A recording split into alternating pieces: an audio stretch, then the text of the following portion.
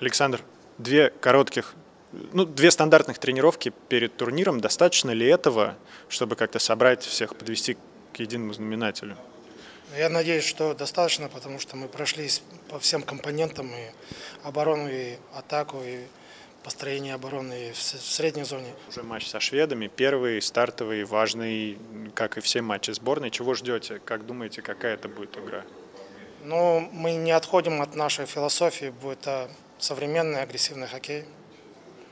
Поэтому ждем хорошей игры. Здорово. Слышали о том, что на матче сборной практически все билеты уже проданы? И какие это эмоции вызывает? Ну, снова играть с болельщиками? И...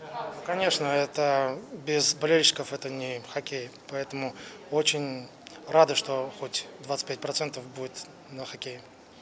Нам нужна будет поддержка. Матч за сборную в свитере с капитанской нашивкой. Какие эмоции? Э, положительный, да, очень рад этому. И домашний этап Евротура, да. Э, я думаю, что очень много людей хотело приехать сюда.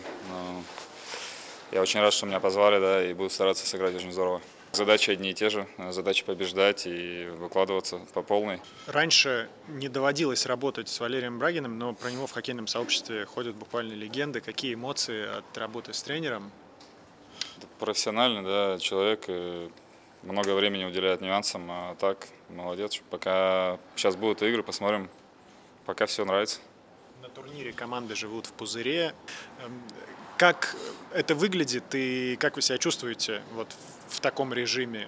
Ну, пока нормально, в принципе, да, у нас много собраний показывают, как надо играть, э, какие-то компоненты, да, улучшать там, а так нормально, ничего, тут, в принципе, небольшой такой короткий промежуток времени, да, на неделю собирают, на за неделю три игры, так что гулять особо некогда, да, надо восстанавливаться, отдыхать, готовиться, разговаривать, да, там в пятерках, в тройках. И я думаю, что все нормально. Пока никаких вообще проблем нет в этом плане, что не погулять, там еще что-то. Скажите про партнеров, как быстро нашли взаимодействие?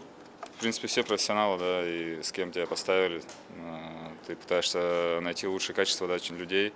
В принципе, мы играем, да, с Вовой, Ткачем и с Чиби. А, договорились, как играть будем, и посмотрим, как у нас на игре получится. На тренировках все здорово, Чиби здоровый, закрывает пятак, да, как бы. А Вова мастер, с ним приятно, да, тоже там попасоваться, что-то поделать. Ну, главный результат, так что будем готовиться. Завтра дебют национальной сборной. Какие эмоции? Э, да, в принципе, что в олимпийской сборной, что в национальной сборной, когда тебя вызывают, в принципе, сборную, это тебе доверяют, и это приносит очень радостные эмоции, впечатления. Я очень рад, что ну, позвали, и то, что мне удастся сыграть первый раз за национальную сборную.